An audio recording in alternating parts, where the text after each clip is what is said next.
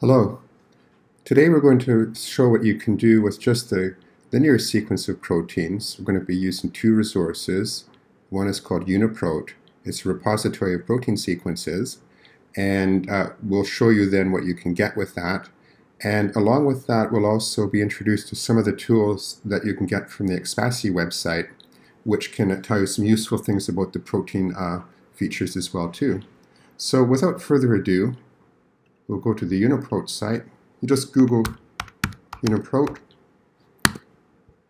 and click the link and here you go. So at the very top you can enter information about uh, the protein that you're looking for and just like with the PDB you can search by the uh, UniProt KB accession number that's the code that each pro uh, protein sequence would have or if you don't know that you could just uh, start typing in some keywords. What we'll do first is assuming that we have the accession number, so we'll type that in.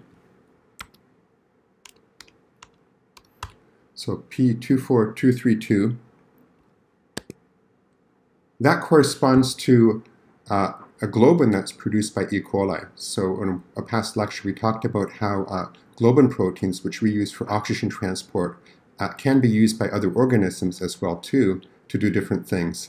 And this is actually such a protein produced by E. coli, and it uses it to protect itself from the toxic effects of uh, nitric oxide that can be produced uh, either within um, the, uh, the host that e, the E. coli is in, or uh, can sometimes be produced um, non-biologically in its environment. So when we click on that, it shows you at the very top, it shows you the accession number, and when you look here with the status, it says reviewed. There's two types of um, structure uh, sequences in the uh, UniProt database. There's the reviewed ones, which are indicated by the gold panel with the star there. Uh, that essentially means that they've been extensively reviewed. They've got lots of annotation. Annotation just means what they know about the protein in addition to just the sequence.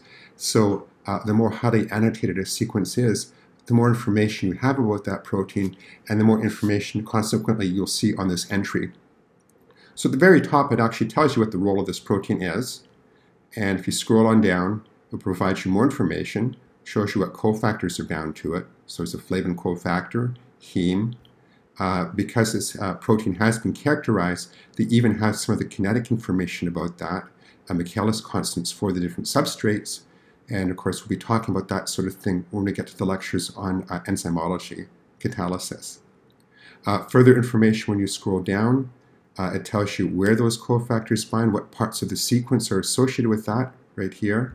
It tells you about its function, the various functions that this can do, uh, keywords that go along with it, and also uh, the name of the protein, preferred names, synonyms for it, and so on. So the more extensive the annotation, the more is known about that sequence, the more this, uh, this site will be filled out.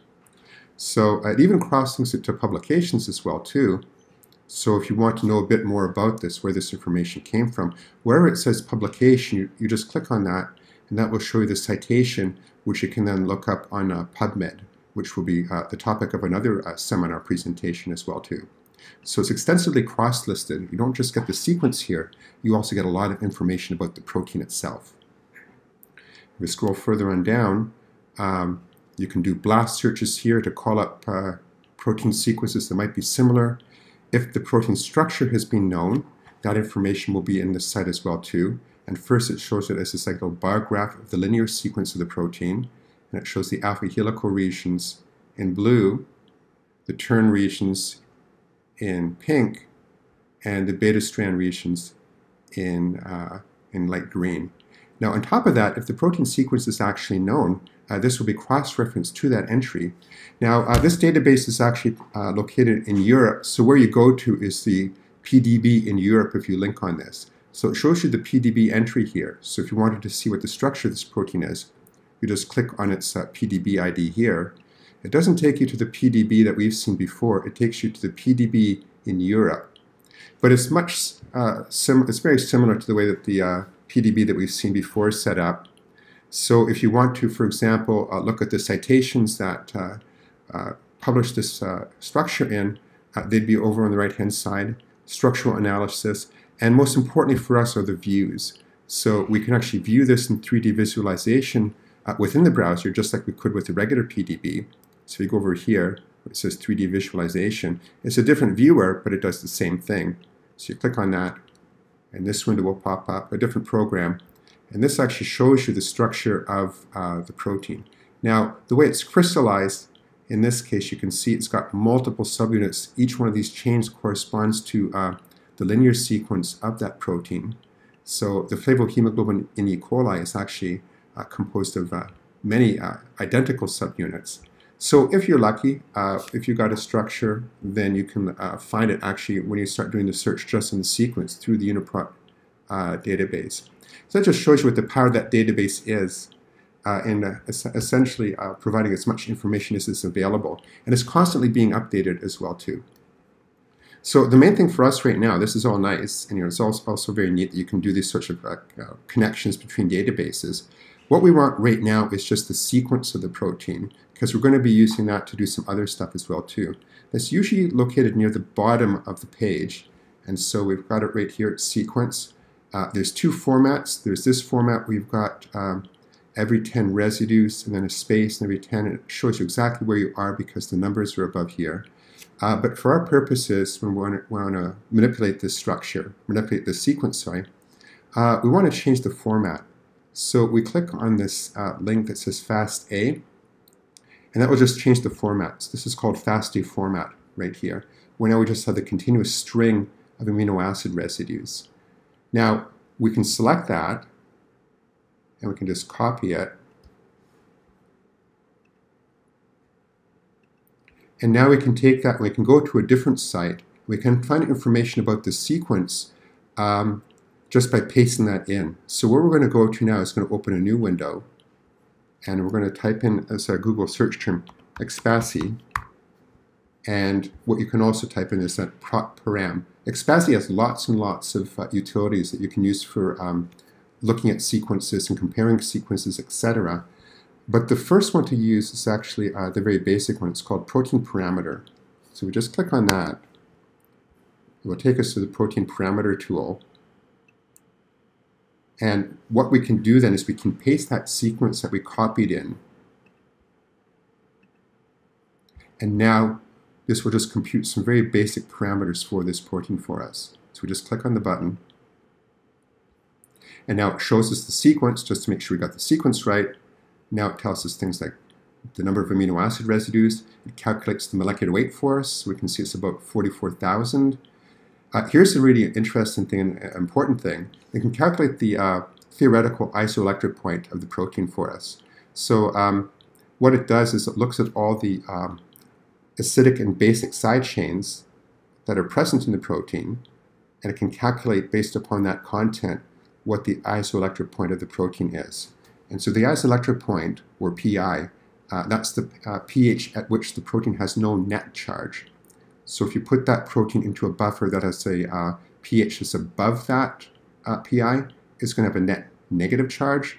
And if you put it in a buffer that's below this uh, pH, it's going to have a net positive charge. So it's actually very useful then for determining, uh, say, conditions under which you want to purify the protein, because one of the ways you do this would be, say, by ion exchange chromatography where proteins being ions will bind to a particular chromatography resin, and you can determine what the charge state will be in the protein and then select the resin you want to use to accomplish that, uh, that purification.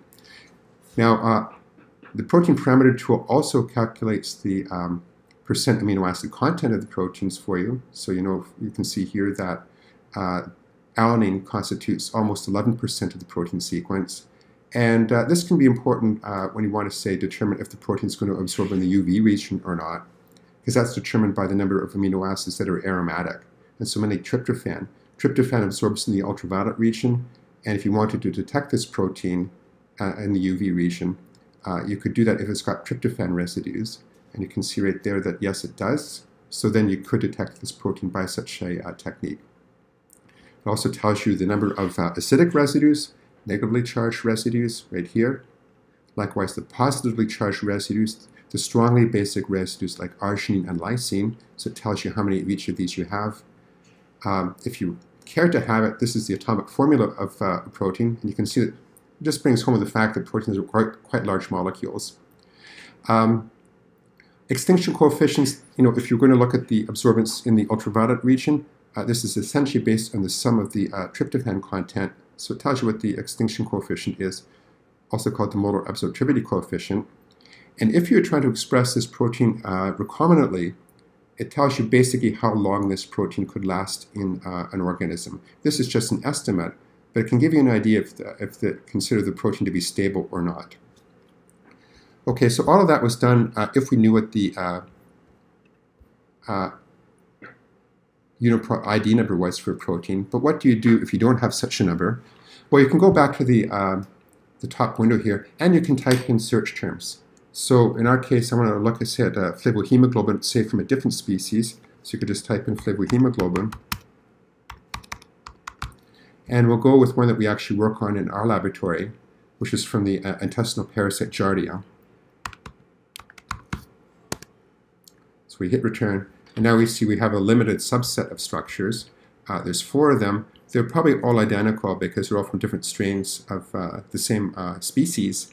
Uh, but you could then do this the same way. If you just click on one entry, you get more information on it. You can scroll down. Uh, you can see that there's two papers published on it. And here, look at that. One of that is from our laboratory, so good for Trent. We can do some stuff here. Um, and so on. And as much information is available for this protein, uh, you would find it here. So the Uniprot uh, site is actually a great go-to site, not just for this course, but in future courses, if you're working on a particular protein and you want to know more about it, it's a great place to go to to find out um, what's known about it and papers that you can get on it that are key for its structure, for its properties, and things like that. So it's a very, very useful uh, resource, uh, well outside the uh, the bounds of just this course. You know, the sky's the limit with this. Uh, so there will be uh, accompanying this, there will be some uh, searching um, exercises for you to do uh, with different proteins just to show how you can use this thing. So uh, thank you very much and uh, hope you find this uh, useful in the future. Hello again. There's a couple of extra things to talk about here uh, at the end of this uh, tutorial. one is a little bit of a shortcut. So when you get to the protein parameter tool, you could paste the amino, amino acid sequence in here like I did in the previous presentation. Alternatively, if you have the um, ID number, the UniProt ID number. You can enter it in as well too. And that will give you then uh, the same information. Now sometimes the protein will be uh, post-translationally processed. What that means is that uh, the sequence as you get just from translation of the, uh, the gene uh, is not the mature uh, protein. So the mature protein will be a little bit shorter. So we'll see that when we compute the parameters here.